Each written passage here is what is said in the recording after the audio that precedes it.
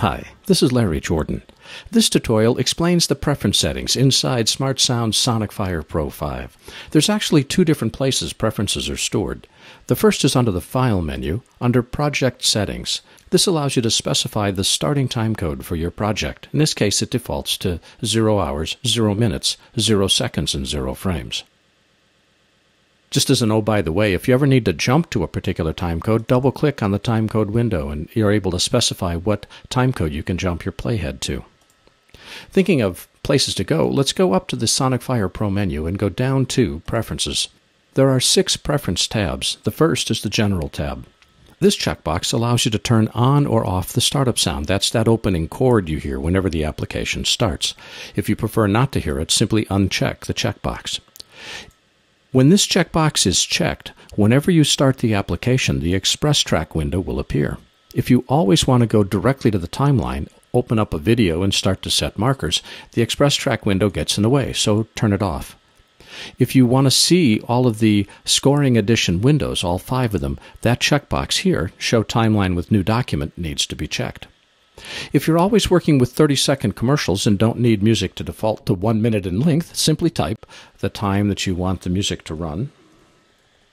You don't need to use punctuation. If I type 3000, the system automatically assumes it's 30 seconds and no frames, and you're able to display what your frame rate is so it knows how to calculate timecode.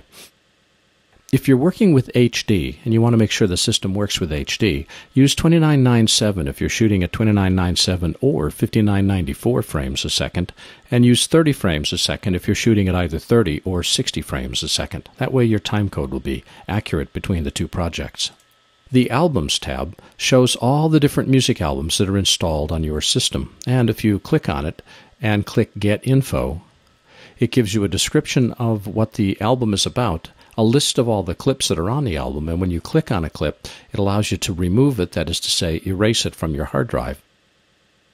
Or, if it had not yet been copied to your hard drive, this would light up and you'd be able to copy it from the CD to your hard drive. The Folders tab specifies where metadata is stored. That's the top half here. That's the information about your files. And the second lower half specifies where music files are stored. By default, they're stored to your boot drive, but I find that it's a better way to work by storing music files to a second drive. So I've created a folder called SmartSound Music, stored it to my second drive. Whichever drive you want SmartSound to copy music files to, you need to select it and then set copy destination. In other words, select the folder and set copy destination. Notice this icon moves as you change it. That icon indicates to which hard drive music files are going to be copied. Again, I prefer having my music stored to a second drive. If you have an internet connection on the computer that you're using Sonicfire with, this talks about how it accesses files. Do you want it to automatically download previews from the SmartSound store whenever you click on a file that you don't own? I like having this on. This is a good thing. Also, the metadata that's associated with the music that's on your discs sometimes needs to get updated. Not the music, but the information about the music. Having a check for updates makes sure that you always have the latest and greatest metadata. It doesn't upgrade often, but it's nice to know that it checks for updates whenever they're available. When you're exporting, Smart Recall is a very cool thing in that it allows us to reconstruct the project that we created our music from. With Smart Recall turned on, it makes it a whole lot easier to make changes because it automatically knows where all the clips came from. And when you're exporting, it has a default file naming convention which you can change. Notice down here, instead of having it be the time code start minutes and seconds and frames, we can have it be duration minutes, seconds, and frames. So if I change this from start to duration,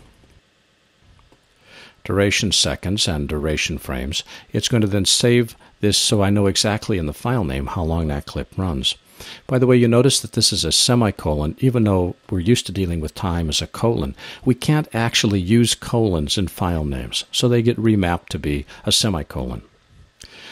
The network allows SmartSound to create what are called cue sheets. A cue sheet is a list of who the publisher is, how long the clip ran, so that if you need to, to provide cue sheets as part of submitting your programs to a network, SmartSound has a way of doing that automatically. And to take advantage of that, it needs to know exactly what piece of music that was that you're working with. So by having this on, which is the default, and I recommend it, it allows the automatic creation of cue sheets. And if this is important to you, you need to go to the SmartSound website and take a look at how that works because I've seen demos of it and it is breathtaking to watch. That's a quick look at the preferences that are inside this release of Sonicfire Pro 5.